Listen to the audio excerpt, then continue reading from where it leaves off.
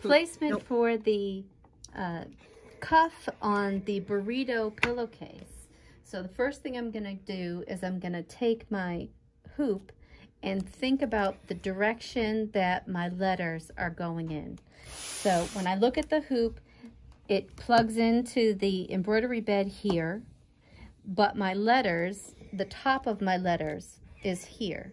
So I'm gonna actually turn my hoop and I'm going to place it on the cutting mat so that I line up the little marks on the hoop, the centering marks, with the lines on the cutting mat so that when I come back with it folded, I can unfold it and know where my center of my hoop is. Over here, I have my cuff. It's been pressed in half. So this will be my embroidery area. I want this to end up with the wrong side being stabilized with my embroidery area on top and centered.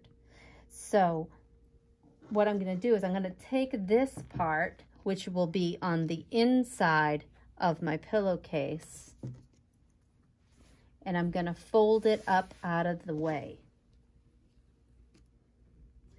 Next, I'm going to take that piece and I'm going to bring this outer edge over to the middle. And I'm going to line it up with the center line. Then I'm going to take the top, my fold, and bring it down to the raw edge.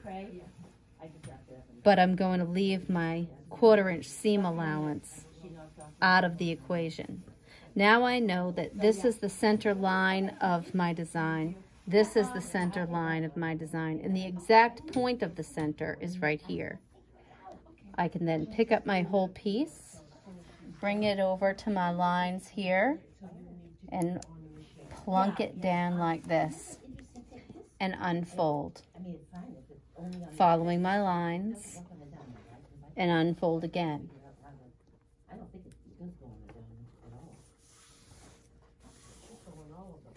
And unfold again. So now I have my embroidery area hooped, centered.